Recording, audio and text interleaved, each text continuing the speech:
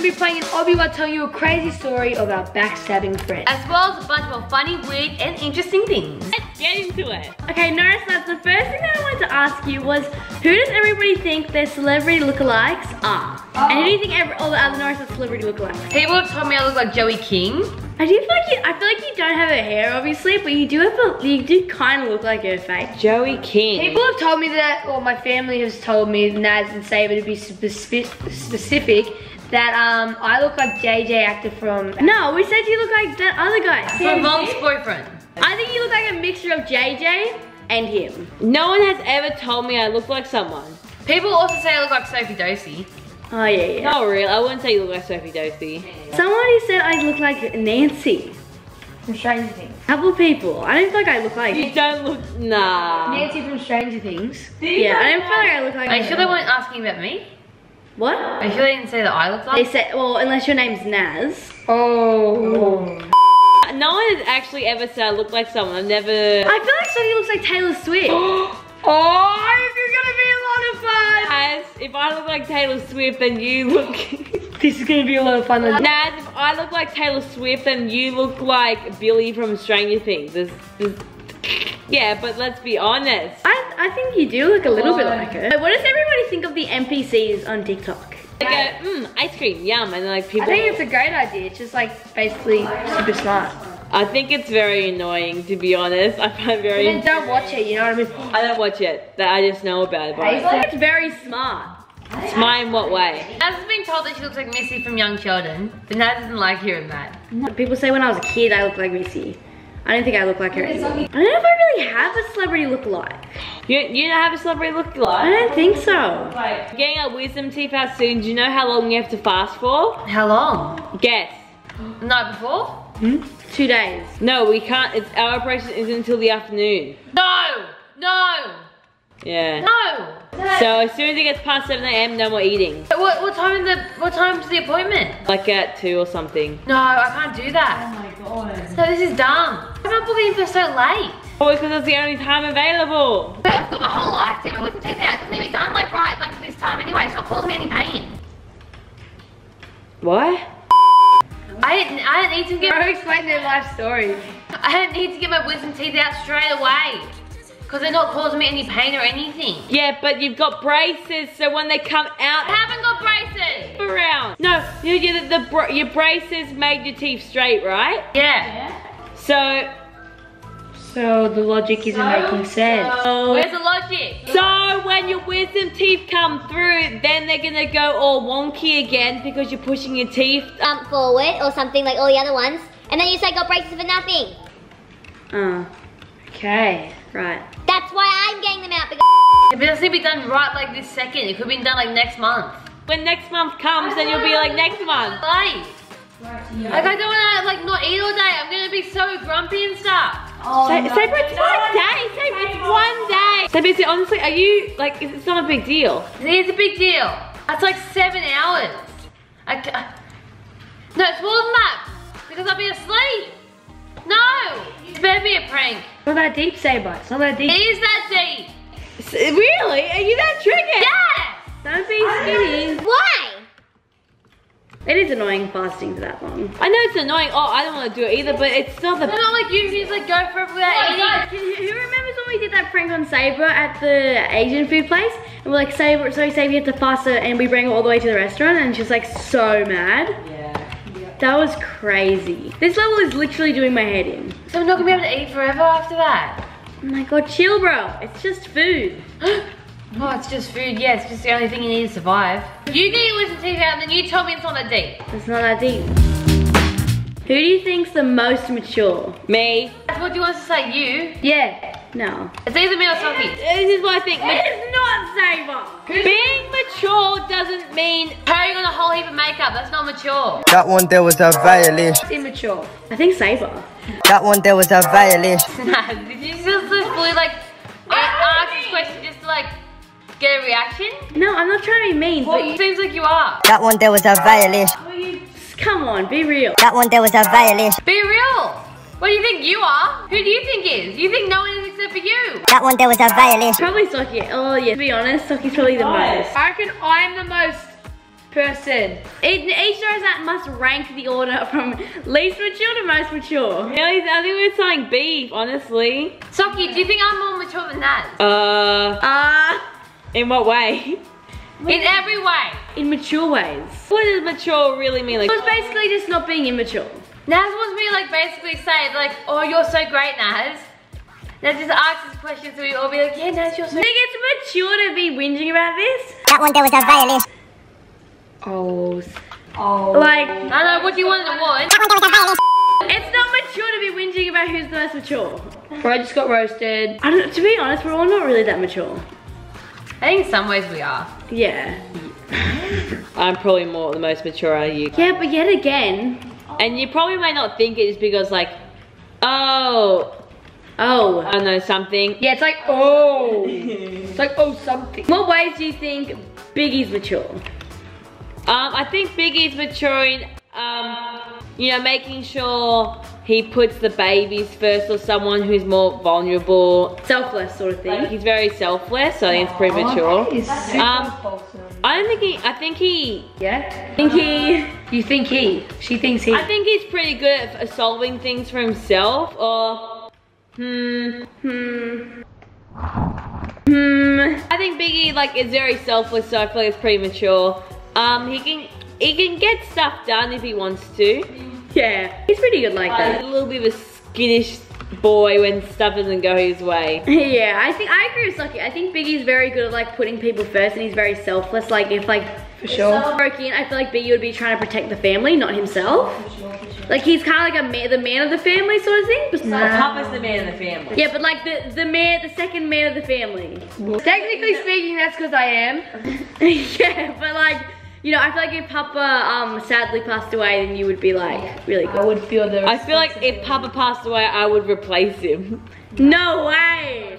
Well, I feel like, Like You're organize. not that guy, pal. Pal, you're not that guy. You're not that I am. That's the thing. You're not, buddy. Someone would replace him in terms of like getting to like certain locations and being the smart, like how he's. The Karen of the group thinking she. No, being a, that's a, that's a Biggy and Nazi understand. Being a Karen, like saying to follow rules and stuff. No, you're like a, you're like a, you're, You're like that's that annoying like little. a little bit of a Dobby Bob. Yeah. No, that, I'm not. I feel like I let you, I right. let these kids slide with so many things. Just it's just like following rules of being a normal person. Um, so our, our grandma was babysitting us, and so, so we were gonna watch TV while Sockie went on a walk, because Sockie chose to go on the walk. Watch TV the whole time. Doesn't matter. They weren't allowed to. We were. Do you want to get mom up here and then she can confirm you guys? This is what being a Karen is. See, like she's right now, like. no. Mom, can you come up here? Oh my. I acted like a Karen because I said you guys aren't allowed to watch TV. You, wa- but you wanted to watch the TV when we came home, and then like, but you didn't want us to watch it when you were gone. That is being a Karen. There's nothing changing my mind, Sockie. There was no TV the whole time.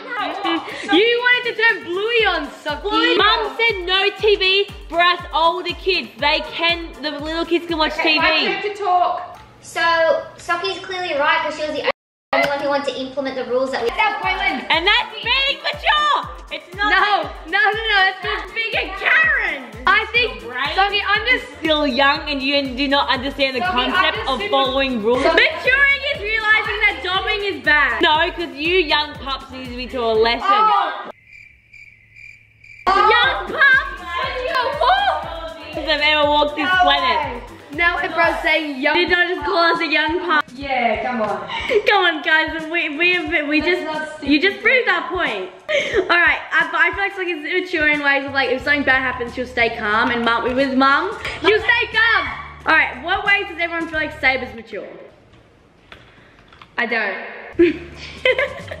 Don't be mean. I am. I don't like smoke, vape, do drugs. Oh, I, I don't. I, do the basics of surviving. Sabre, you're a basic human being. That doesn't. You're a basic human being. That's great. I feel like Sabre's mature in ways like um. I guess like ways like She's just trying to think. I feel like Sabre's mature as in like I think It's taking a while. No, I, I do agree with Sabre. Like, I think it's really good that Sabre doesn't do like some things that like people around her age. It's kind of cool to do like things that aren't good, and I think that is good that she doesn't do stuff like that. I think Sabres matures in, I think moving out at an early age does prove a bit of um, maturity. So that's how I think Sabres mature. All right, so do you reckon we should move on to the next question? Yeah, let's get as far away from this question as possible. Who's the prettiest? Sockie. Kidding. What is a weird fear you have? Little, like about like four, Sockie, um, mum and papa took me and Sockie to Dreamworld, like as like a family like vacation, and like um, and we like stayed at the theme park, which is really cool. Um, anyway, there was this show that was going on in the um at Dreamworld, and they like called, they like picked a random kid out of the audience to come and like on the stage and get slimed, like in this like orange tub. And I remember watching that, and I remember being so petrified afterwards. Like, it was like, I was like, I, I, I don't think I've ever been like that scared in my entire life. And I don't know if, even know why. It's like, it's just basically green water. Oh, For yeah. some reason, that really scared the crap out of me. That is, that is scary. And then when I was, up till I was 12, I had a big fear of slime. And with the Ellen show, I had to like, you know, get slime for the Kids' Choice Awards. I wasn't in the show, but like, it was for the Ellen show, if that makes sense. Anyways, I remember feeling so scared beforehand because like a couple of days prior they said, oh, Sabe, you're gonna get slimed. I was like, I was like really, really nervous. Anyways, it wasn't as bad as I thought it was. That's good. You didn't really get slimed. No, you you moved from the spot that they said you need to go. Yeah, he was like, you have to sit on this spot, and you're like, no. Yeah, that exactly. Pretty true. Tell you what's a really weird fear I have? What? So you know, obviously I have um, Baz and cheddar. What? But my, obviously I How have, are they a fee? No, no, just, just wait, okay? So I, I own two guinea pigs, Baz and Cheddar. But my biggest fear is rats. What? Rats. Yeah, but I own a guinea, two guinea pigs. I love Yeah, that makes no sense. But I, my biggest fear is rats. They just, they freak the living out of me. Like, they, they chew on you. they chew on you. I've never heard of a rat chewing on me. No, guinea pigs are like fluffy and cute though. No, they're not. Your ones aren't fluffy. My ones are fluffy. No, they're not. I'm so confused. What's a weird fear you have, Biggy? Biggy, Yeah. what's a weird fear you have? Oh, people chewing as well. Whoa, whoa! You have a fear of people chewing? Ah, oh, it's not really a fear, but I'm, I'm sorry, what? Alright, Norris, I think it's time for our crazy backstabbing friend story. It's like, I feel like because we're always with each other, like we, we've got like, um, like not much, we, whenever we explain a story, like everyone's normally there. But you can always tell the pod it. I never know if I should say the pod. Cause like I always feel awkward saying. So we're gonna tell you like the entire process and like we'll you we'll get along to it soon. So just keep watching. This girl is my friend. I would say. She's like all of our friends honestly. My med friend, like mid friend. But you had a crush on I her? thought I had a bro. So cheesy, bro. My did? I think it was a birthday party. And we and they they ruined like they were really mean to the birthday kid, but you'll see like what happened. It was like a setup. Wait, it wasn't even her birthday? Whose kid's birthday was it? The one that they that um Oh, really? Well, So our friend, we were playing it. Sarah. Friend Sarah. We'll call us. No, we won't call her Sarah. Sarah's too nice of a We'll call name. it Angela. No, let's just call her Toby. Toby. No, Frankie. Frankie, yeah, it's cool. No, Frankie. Her name's Raquel. No, 'cause that's the guy in our show. What about The Rock? The Rock. I gotta go on. I gotta go on. Amelia. There. Amelia makes sense. Amelia makes sense. So in Amelia's crib, her bedroom, Biggy and me were in her room, and you know she was uh, showing us her dolls. Yeah. Anyway, a five-year-old was like, we could hear. Wait, say it again. Say it again. Viral. Stop. A four-year-old was walking down the four-year-old. hallway. was walking down the hallway and could hear her footsteps, right? Anyway, she said, say I'm not here. Like, okay, bet. Like, homie's got your back. Like, you know. It's Yeah. Like, Four-year-old came in and was like, where's Amelia? And Big and me were like, not here. uh, not here, uh, gone. She said, tell her I'm not here one's like signing it all, like and all, all that sort of stuff. Yeah, she said. That's what she said. She was like uh, setting us up. She was like saying, don't, don't say I'm here when she was, Big It's like ended up looking like they were excluding her. yeah.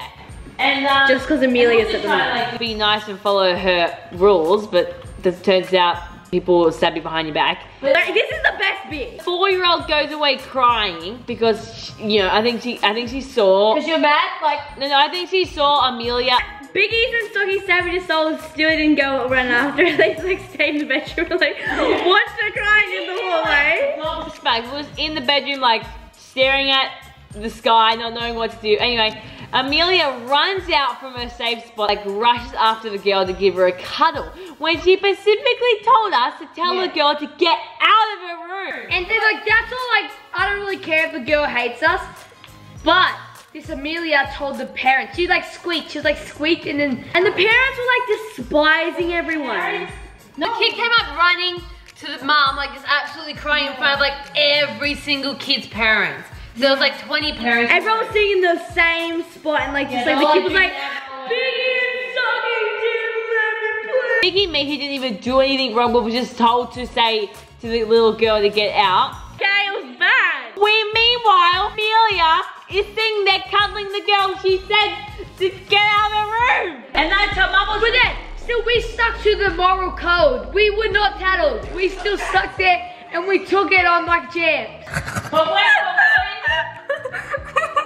I didn't really talk to her ever again. Anyway, that's all for our backstabbing stories. Thanks so much for listening to us today and coming along with us. Catch me in Knuckles.